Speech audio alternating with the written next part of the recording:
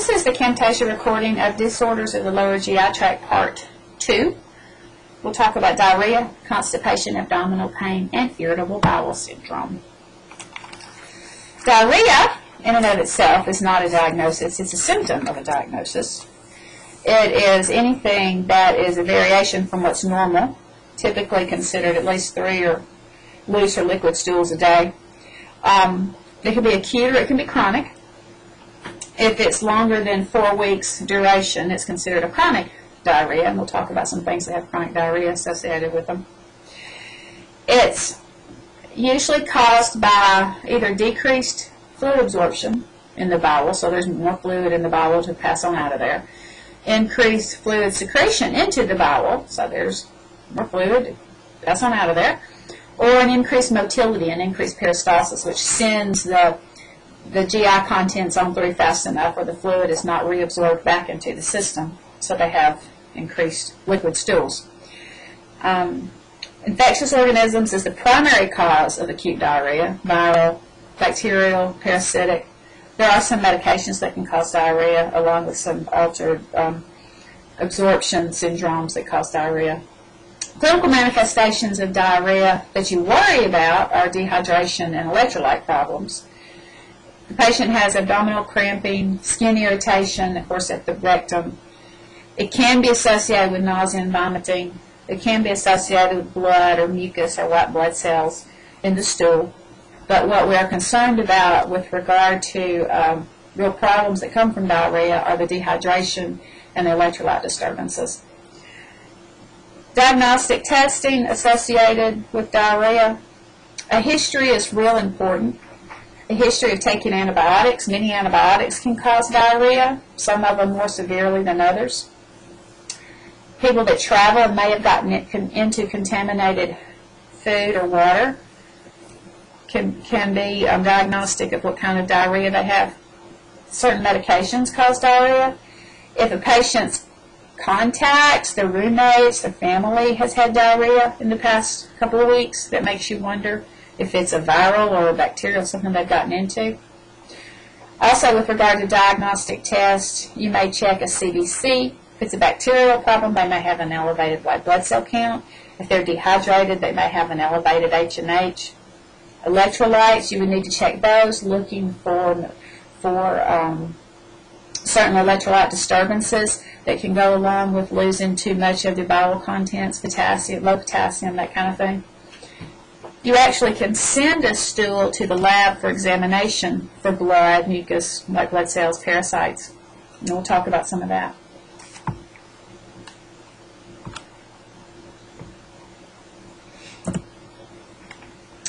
Some infectious organisms that can cause diarrhea, examples of this, E. coli is something that you hear about. Typically you find E. coli is um, comes from contaminated raw food. E. coli is a normal a normal bacteria in your bowel, but there are pathological strains that can cause diarrhea so badly that it, I mean, people can die from it, dehydrate and die from it. So um, if some of those pathological strains get onto food or in beef, a lot of times beef you think about when they slaughter cows, if they nick the bowel, the E. coli in the bowel can get out into the beef or with raw food if there's not good hand washing used and somebody has E. coli on their hands because they have, you know, a diarrhea problem and it gets on the raw food, then it can be spread in the, in the food supply. There is um, in the news this week actually an outbreak in Germany that they're blaming on bean sprouts.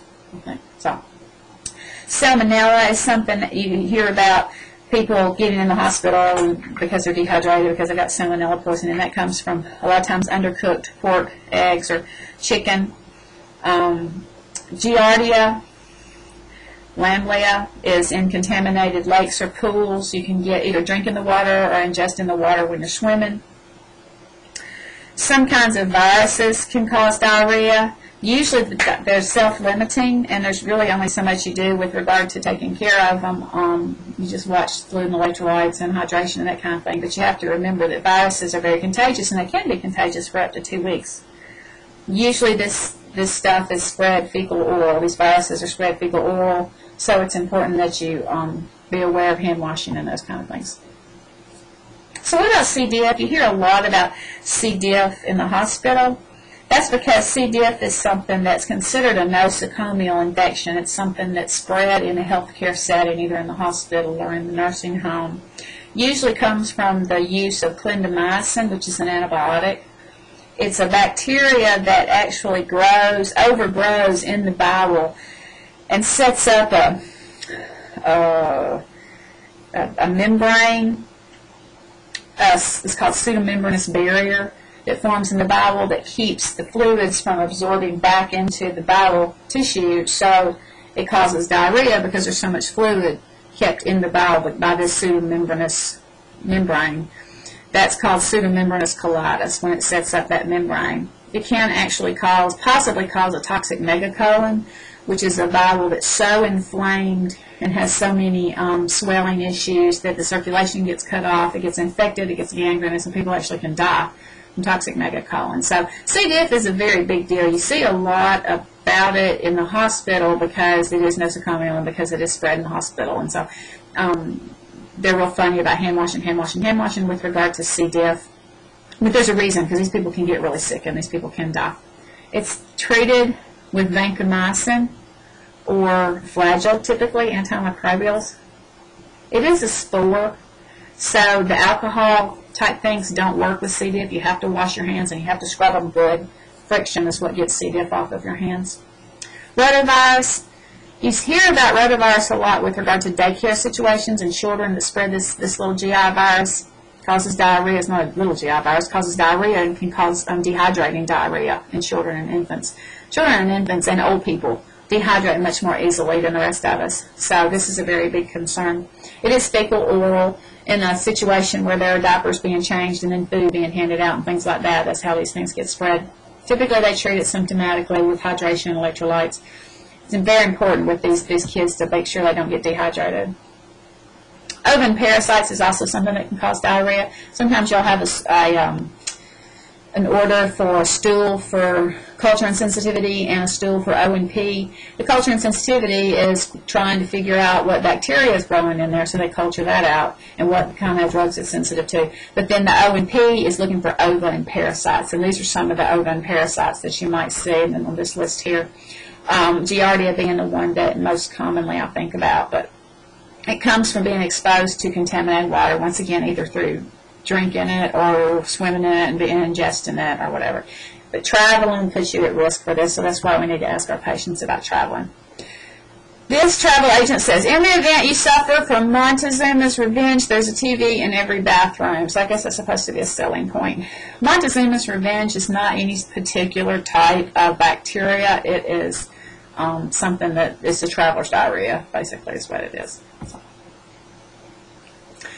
Other things that can cause diarrhea, more, more of the chronic diarrhea than the acute, food intolerances, um, like lactulose intolerance, people that um, are lack the lactase enzyme can have problems when they drink milk products. Celiac disease is a malabsorption problem that can cause chronic diarrhea, and short bowel syndrome, we'll talk about that. That is people that have difficulties because they've had some of their bowel resected and they don't have the absorption, and so they have a lot of diarrhea with it, like chronic diarrhea collaborative care. Treat the cause, treat the fluid and electrolyte imbalances. Using antibiotics is usually pretty rare unless they have a specific culture that's grown that they know that this bug is sensitive to this antibiotic. Antidiarrheals, typically you don't use them initially because if it's a, a, a, virus or bacteria in there that needs to come on out, it needs to come on out and it will prolong the issue if you give an antidiarrheal. You may need to let it run its course.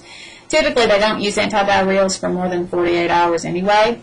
It can cause problems in and of itself to give antidiarrheals. So they don't cause don't don't like to use antidiarrheals for more than 48 hours. And truly, if it's something that's running, that's a problem that's been going on for more than 48 hours, it may need further attention anyway. Nutritional therapy that goes along with diarrhea. Pedialyte or Gatorade is good for electrolyte replacement. Typically, we put them on clear liquids, advance them to a little bit um, more, you know, more of the, the, the not clear liquids onto a bland diet after about the first 24 hours. Hydration is the biggest thing. Um, just slowly progressing them to foods that they can tolerate.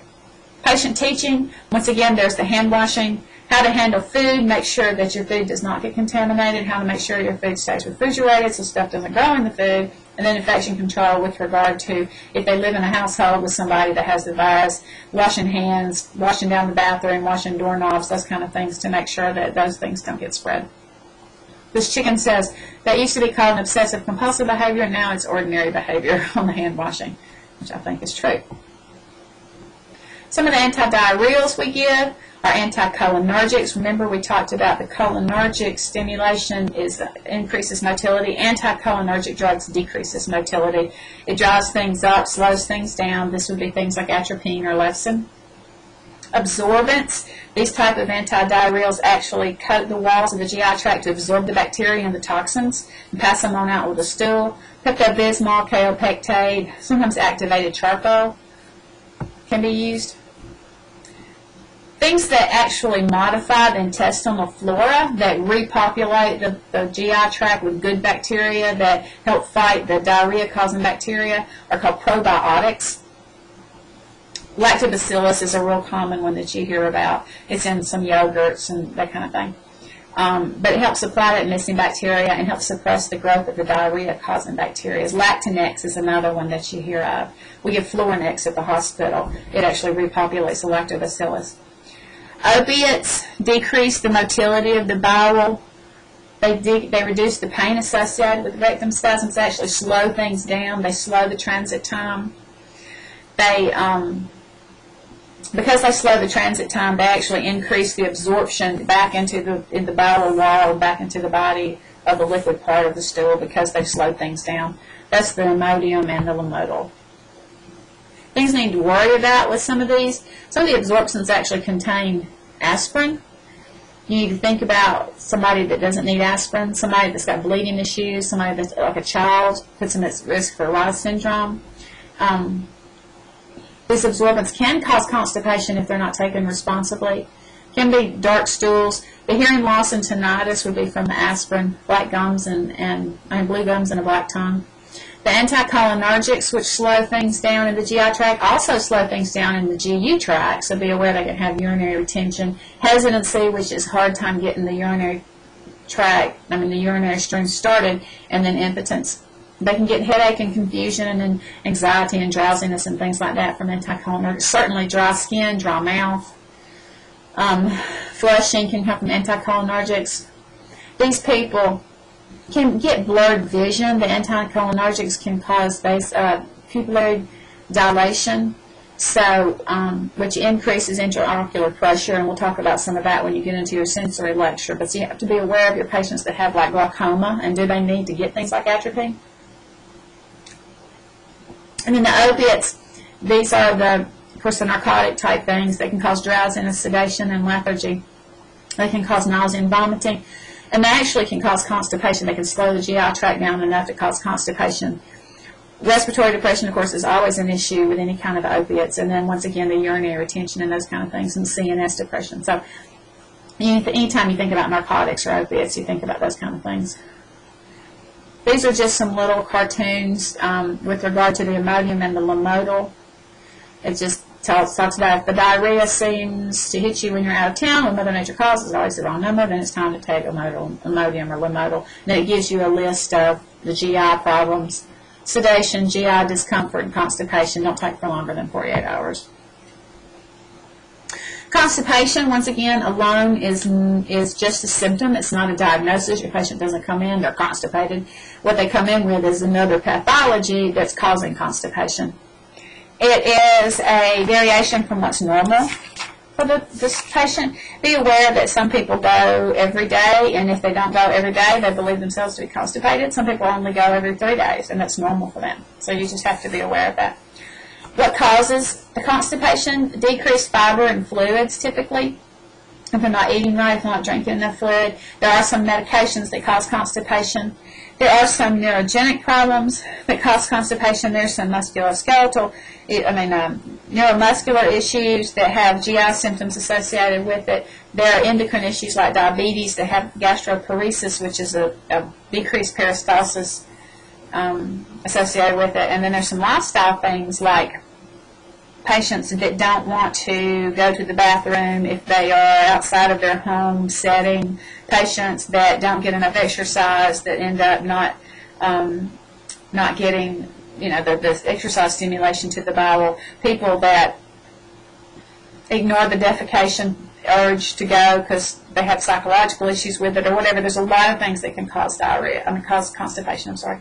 Clinical manifestations of diarrhea. I mean, constipation. um, hard, dry, difficult to pass stools.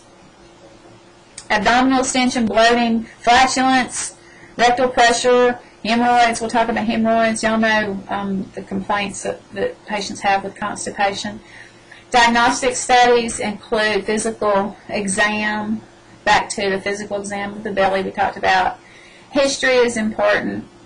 Also, they could have a barium enema looking for um, obstructions, strictures, that kind of thing.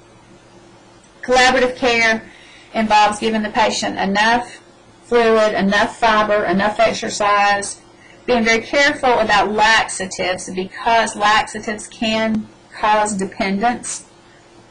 Your bowel actually gets where it's atonic. It doesn't have good tone. It doesn't respond to that intrinsic nerve stimulation that says the bowel's full. We need to constrict, you know, contract and cause a bowel movement. Um, your bowel can actually get where it doesn't respond to that. So the the daily bulk forming stuff like the Metamucil and stuff like that is a little better to use than things like the Dulcolax and things like that. They usually don't recommend using those on a regular basis, the Dulcolax and that kind of thing.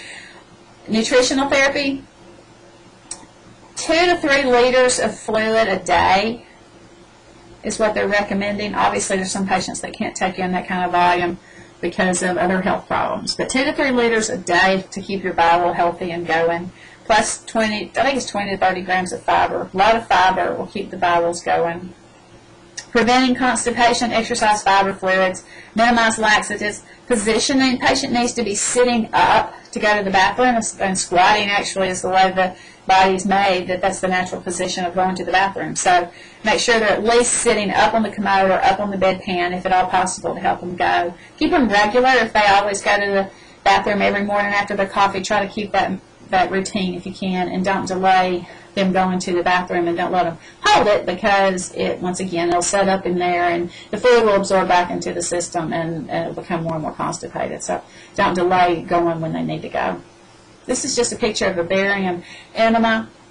The barium liquid is actually put into the large intestine through the anus and it goes up through the sigmoid, through the through the ascending, I mean the descending, the transverse, and then the ascending colon. You can see on the picture, the radiological view of it, the actual loops of bowel, and that's how they can see, is there an obstruction, is there a narrow place, is there a stricture, what's going on, is there a place where the barium won't go through, whatever, that's what they're looking for. After somebody has a barium in it's important to make sure they take their laxative to get this barium out because it is sort of a chalky substance which can set up in there and cause constipation. Laxatives you may see given, the bulk forming laxatives, the Metamucil and Citrucel, these are basically fibery type things that absorbs more water into the bowel, distending the bowel to initiate the reflex bowel activity. The Colace, mineral oil, Dulcolax are stool softeners. They promote more water and fat into the stools and sort of lubricate it.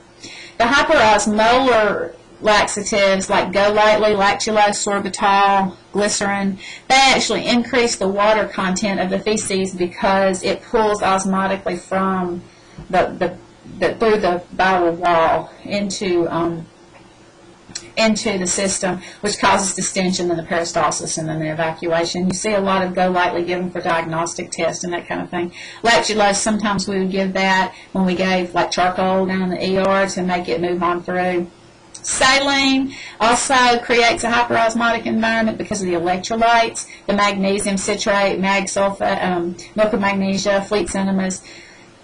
Those are things that actually have an osmotic pull because of the electrolytes involved in those medications. And then the stimulants, which actually increase the peristalsis the nerve stimulation, are the Ex-Lax and the Dulcolax and the Senokot.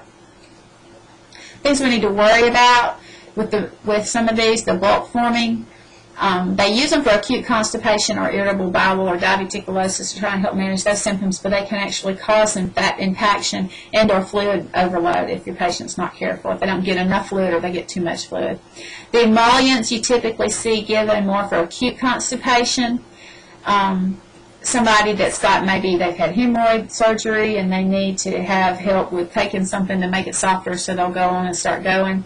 These things can cause, however, skin rashes if they if they have the skin has more exposure to the bowel um, contents, plus decreased absorption of fat soluble vitamins because it increases the fat in the stool and there's less absorption and more more excretion of those fatty type things. Hyperosmolar laxatives that GoLYTELY They'll give a lot of times for diagnostic and surgical clefts. These can it can cause abdominal bloating, and there's a lot of stool associated with it, a lot of watery stool associated with it, so there can be a lot of rectal irritation with regard to that. And that's actually pretty common in the hospital when you have patients that are on these. They may get irritated back there, and you may have to get them something to put around their rectum for skin protection. The saline type laxatives that they um, may give for constipation, but also for diagnostic preps or removal of when they worm somebody. Basically, is what the the anthelmintics and the parasites. If you give somebody worm medicine and then you have to give them something to get the worms on out, this is what they give. What you worry about with regard to these is the electrolyte content and is the patient okay to take that a highly concentrated electrolyte like magnesium on people that are renal patients, you have to be careful about things like fleet and things like that. And in fact, we don't give Fleet's enemas to our renal patients in East Alabama for that reason, because of the electrolytes. The stimulants, the Ex-Lax, the, the Senokot, the Dulcolax, they're good for acute constipation, short term, or from diagnostic tests. You do have to worry about um, malabsorption of nutrients in the long term, though, and skin rashes and, and irritation and rectal irritation and stimulation. So they're not good for long term. They just use those for short term. Little cartoon about milk and magnesia, MOM and the AM for BM and the. And also you can use milk and magnesia for upper GI burning and things like that. You have to watch for cramping, diarrhea, and dehydration with milk and magnesia. And this is Cody. We're supposed to remember that bisacodyl, because of the Cody in the middle of the word, helps us with um, cleaning out our bowels, I guess, because looks like that's what he's about to do. The side effects of bisacodyl are um, watch for fluid and electrolyte imbalance, abdominal discomfort, loss of potassium, and cramping. Metamucil this is one of the bulk forming agents. You can see it coming in from the small bowel into the cecum there where the little filler with the water is. Get plenty of water in there. It gets thick and hard as a brick if there's not enough water in there. And then it moves on around to the transverse colon where it begins to form the fecal product and then on into the descending colon where it smooths it out. And then it gets into down into the sigmoid and the rectal column where it causes enough bulk where it stimulates the um, the GI system to try to, to evacuate it. And then the guy at the bottom gets very excited, says it, yeah, it forms it and moves it on out. So anyway, that's Metamucil. You can look at that. Okay, that's diarrhea and constipation. Next we'll talk about abdominal pain. First there's acute abdominal pain. Acute abdominal pain comes from lots of different things. It's not, once again, it's just a symptom. It's not a specific diagnosis, it's a symptom. It can be a symptom of inflammatory processes in the abdomen, vascular problems, gynecological problems, infections, obstruction, GI bleed, trauma. It can be a symptom of any of those things. The most common presenting symptom of abdominal pain is pain. Um, there may be other symptoms associated with it, abdominal tenderness, so you have to be sure and assess for that, nausea and vomiting, constipation, diarrhea, flatulence, fatigue, fever, swelling of the belly. These are things, some things we need to ask our patient about if they have acute abdominal pain. It can be diffuse or localized, dull, burning, or sharp. We just need to decide from the patient how he describes it.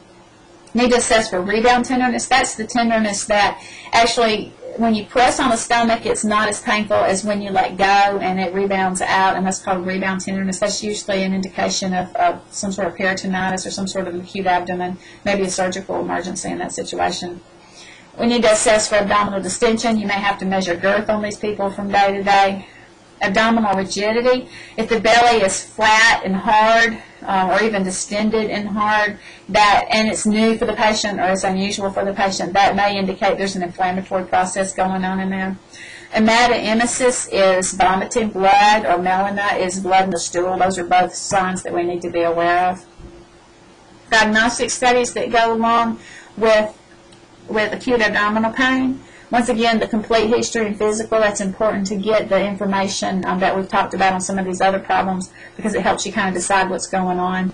The MD will do a rectal exam and a pelvic exam on pretty much anybody that's got a lower abdominal pain probably, will, if it's a female, will probably get a pelvic exam because it could be a gynecological thing. They'll hemocult stools when they do those kind of things. See if there's blood in the stool, even unoccult blood in the stool. Labs, CBC may indicate um, bacterial infection with an elevated WBC, may indicate dehydration with a low H and H. A urinalysis may be indicative of a urinary tract infection. Abdominal x-rays, a flat upright abdominal x-ray is a non-invasive, just straight shot of the abdomen that could show um, could show fluid levels, could show air, those kind of things. So a lot of times they'll do a flat and upright abdominal. Sometimes you can actually see little stones, like little gallstones and that kind of thing. Not very often, but sometimes you can. An EKG is an important diagnostic study on anybody that has pain from the nose to the navel. EKG possibly um, needs to be done because of the potential for it being cardiac related. HCG is a pregnancy test. If they're a female, they need a at least a qualitative, which means either a yes or no, either they're pregnant or they're not pregnant, positive or negative. And then a quantitative, if they do find out they're pregnant, then a quantitative is actually a number that assigns to how much HCG is in the system. The goal with acute abdominal pain is to identify and treat the cause. Do we need to give them pain medicine? Do we not need to give them pain medicine? There was a time when we didn't give pain medicine to abdominal pain because it was thought to mask the symptoms and we needed to evaluate what was going on before we could treat them for pain. Now you give Toradol, uh, which is an anti-inflammatory. It doesn't have the same side effects uh, for sedation and whatnot as um, as some of the narcotics. So you may see Toradol given more for abdominal pain, especially if it's an, an inflammatory abdominal pain. Toradol is a very good drug and it will help them a lot. Sometimes they'll have to go for an exploratory laparotomy to see what's going on, or an exploratory diagnostic laparoscopy, which is actually with a scope. Um, it just depends on the surgeon or the physician and you know the different situation and what they think needs to be done about it. But sometimes they'll take them off to surgery, sometimes they'll just wait and see. This is just an example of a quantitative HCG someone that is, say, for instance, five weeks pregnant, and you get um, a quantitative HCG, you can see that that's a very, very broad uh, threshold of what's normal, range of what's normal. So that really doesn't tell you anything except that you'll get check it again in two or three days or a week, and it should double or triple every two or three days. If it's not going up, then you worry that the pregnancy is is having problems. So it's not really like you can get a one-time quantitative HCG and know exactly how pregnant somebody is right now, but it will tell you whether it's a healthy pregnancy that's progressing depending on how fast it's going up. Or if it's dropping down, then you worry that it's um, you worry that it's you know you're having problems. They're losing the baby. So this is a picture of a flat and upright abdomen. This is just showing some of the air bubbles you can see in the bowel. Uh, like I said, sometimes you can see stones. You can see there's. It's not as diagnostic as a CT scan or an ultrasound, but it does help, and it's it's non-invasive and, and not terribly expensive. CBC. Once again, the important thing we're really looking for with regard to to abdominal pain, one of the important things is the white blood cell count. The differential on the white blood cell count will show you um, what type of neutrophils are there. If the WBC count is elevated, they'll do a differential, and it shows you what kind of white blood cell cells are in there. The the banded neutrophils are the new baby white blood cells that are being put out to fight a new infection. So the bands is what we're looking for to be elevated in a new acute infection. The segmented neutrophils or the SEGs, they've been out there for a while in, a, an infection that's resolving or not quite as acute. You may have an elevation in those. Eosinophils is typically more of an allergic type problem. You'll have elevated eosinophils. The lymphocytes, often with viral problems, you'll have elevated lymphocytes, and then the monocytes are sort of later on in an infection. They're the macrophages that come in and try and clean things up. So if they're elevated, it may be that um, a more of a chronic infection or a longer term infection.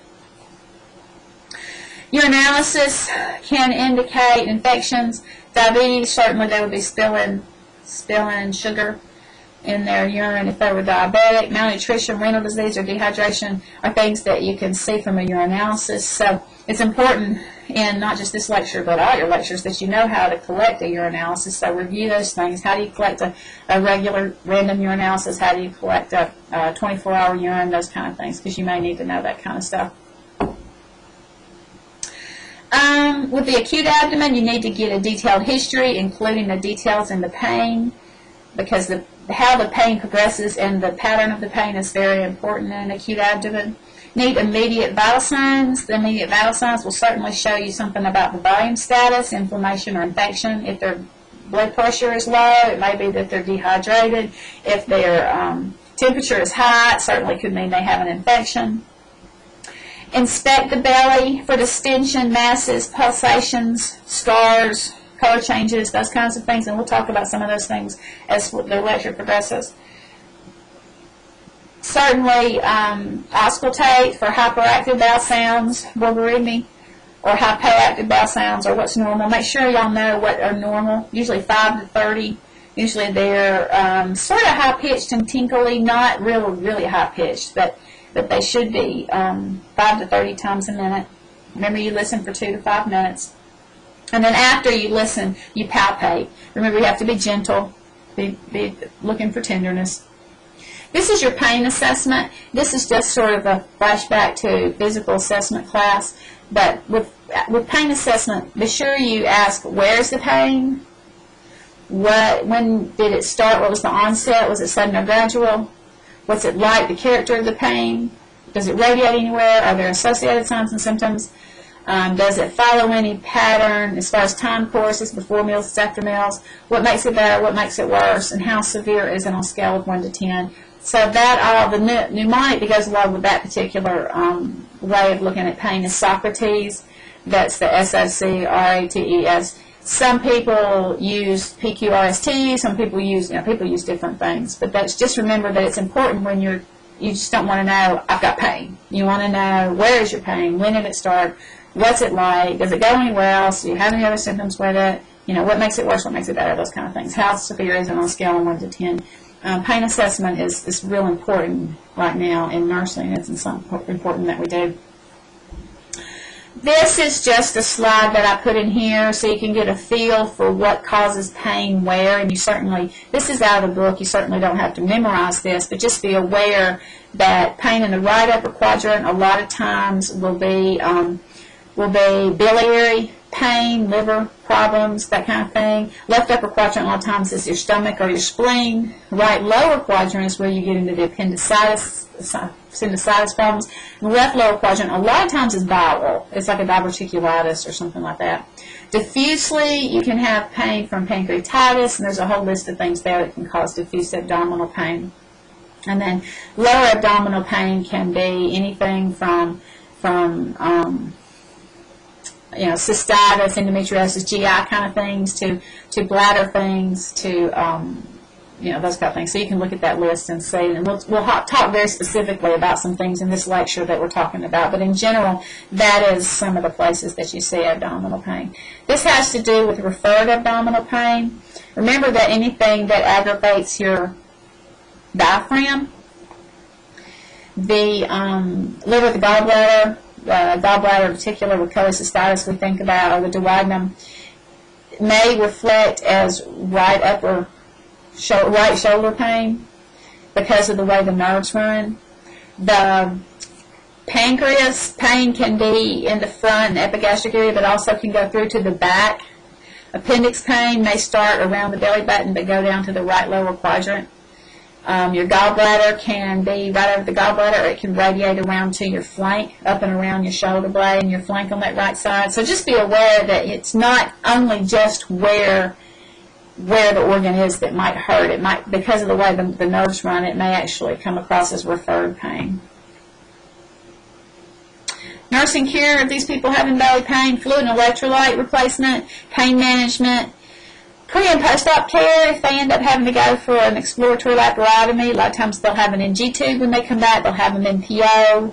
You need to be sure giving these people mouth care, maintaining that NG suction, making sure it's working, managing nausea and vomiting, ambulating them early to promote GI motility, and other prevent other post-op complications. This would be the turn cough and deep breathe to prevent pneumonia. This would be the mobility and the STDs hose and that kind of thing to promote STDs to um, promote to prevent um, DVTs, those kind of things. I've got too many initials going on in my head right now. I'm sorry. They'll start on clear liquids and progress once they're NPO, and then they take out the NG tube, then they'll start them on clear liquids, and they'll progress, and be aware of what you need to do with regard to discharge teaching. And when we get into very specific pathologies, you'll know what that is. So, the goal of acute abdominal pain, resolve inflammation, relieve abdominal pain, keep them free of complications. We talked about some of those, and then keep them in the normal nutritional status and the fluid and electrolyte balance. And that's your acute abdominal pain. Your chronic abdominal pain can originate from can originate from structures or be referred from somewhere else.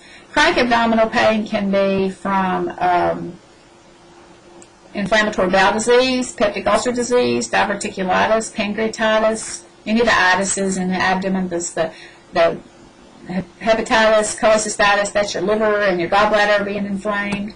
PID is an inflammatory process, pelvic inflammatory disease. Necrotic bowel, that's your folks that have um, vascular insufficiencies of their mesenteric artery. They have maybe sclerosis of the mesenteric artery or a clot, and then they can cause necrosis problems to their bowel. Once again, it's important to do a physical exam and get a good history on these people. Testing with chronic abdominal pain may involve a CT scan, an MRI may involve a laparoscopy where they actually take a scope and go in and look, may involve barium studies we've talked about. One of the chronic pain um, syndromes that you probably will see quite often is irritable bowel syndrome.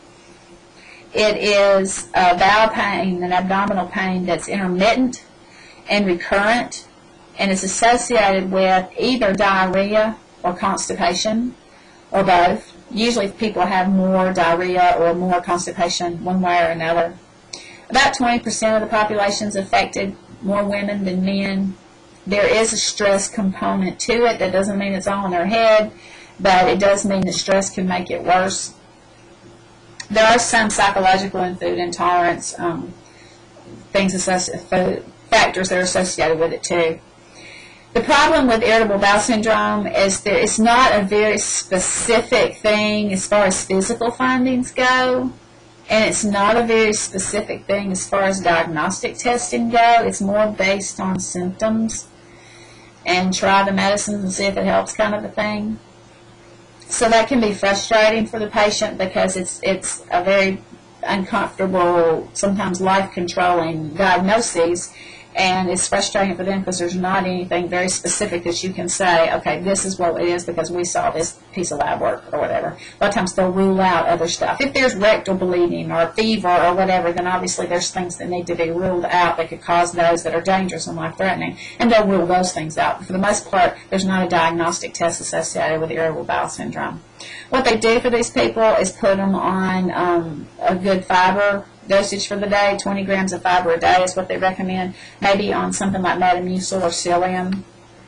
They put them on anticholinergics to try and slow down the GI motility and slow down the cramping. There's one called Bentyl that you'll see used a lot with belly pain patients. You get it before meal. It helps dry things up and to manage the pain, the cramping, the spasmodic cramping. They may prescribe them either Lotronex or Amitiza. The Lotronex is more for people that have the diarrhea type of irritable bowel. The Amitiza is more constipation type of irritable bowel. May teach them relaxation and stress management techniques, acupuncture. There's actually some information out there right now about acupuncture, acupressures and how they work, some herbal therapies. Not, there's no single therapy that they can say this is concretely going to help everybody every time. It has to be individualized. So it's something you have to think about. They may try this medicine, try that medicine. Once again, here's the drugs. The Bentyl is the anticholinergic that decreases the GI motility and the secretions and relieves the spasm. The Lotronex is with the diarrhea um, type irritable bowel. It's used in women only. They haven't proven it's safe for men. They have had some problems with it causing some of the, the ischemic colitis type problems that I talked about with the toxic megacolon. And so they took it off the market for a little while, and now it's back on, but very carefully regulated. The Amitiza, once again, is primarily is they use only in women. I don't know why it only uses it only works in women and not men. I don't really don't know the answer to that, but the Amitiza is women with the const, more the constipation symptom that goes along with irritable bowel. So, anyway, it's just something to think about. There's a couple of good downloads on Evolve if you have. Bought one of the books that has the code that goes with it. Um, it downloads into your iPod on irritable bowel and non-inflammatory bowel disease, and they're good to listen to in the car or whatever, you know, when you're when you're doing your life and you want to multitask. So, questions about that? Um, of course, we're on Camtasia, so I can't ask you if you have questions about that. But I like the cat, so I left it in here. If you're over 40, you'll see this kitty as John Lennon. If you're under 40, you'll see this kitty as Harry Potter. Isn't cute? And that's all about that.